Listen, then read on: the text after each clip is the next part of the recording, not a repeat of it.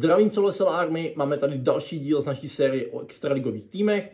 No a dneska si něco řekneme Třinci, který vlastně loni zvítězil. Jdeme na to. Třinec v loňské sezóně vlastně celkem zklamání v základní části, i z pohledu fanoušků.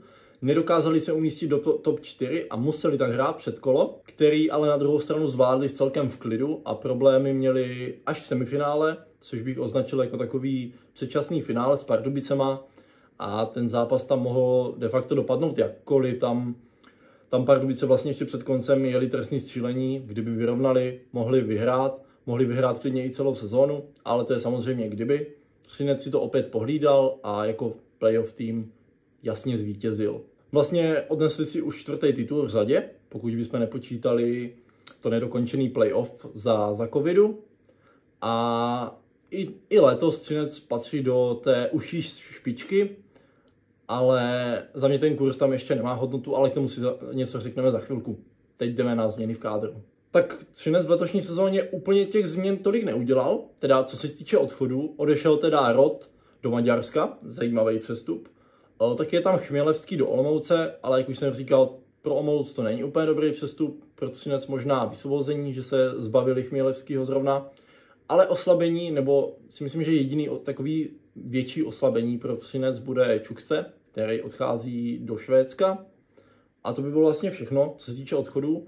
Příchody, tak klasicky u Třince hodně obránců, vlastně přišel Polášek ze Sparty, z Komety Kundrátek nebo z Radce Nedomlel, to jsou velice kvalitní obránci a tady se dá zase říct, že Třinec opět to staví do, do toho playoff týmu, nebo on tu základní část samozřejmě bude hrát taky, taky výborně, ale opět si ten kádr budují až na to playoff. A pak ještě můžu zmínit Páníka, který přichází z zámoří.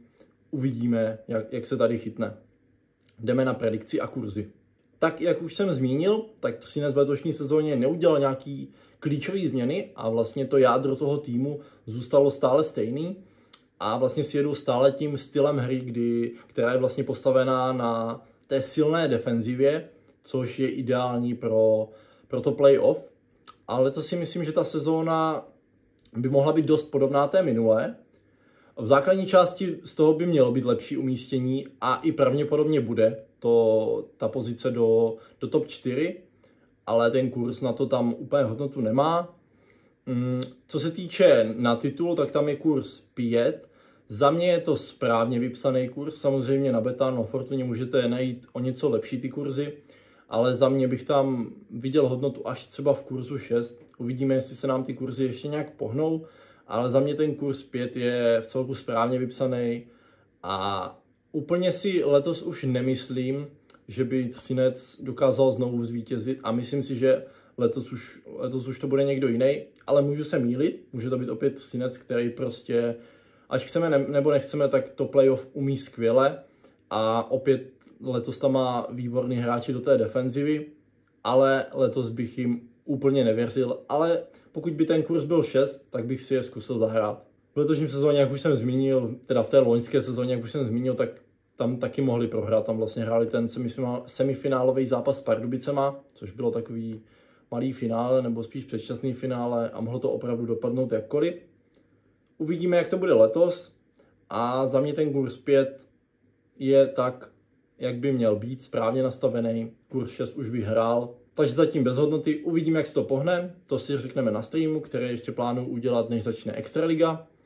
Budu se těšit na vás taky u dalšího videa a to by bylo všechno. Napište do komentů, můžete tam dát svoje názory a olejkujte video. Mějte se hezky, ať se vám zelená a ahoj.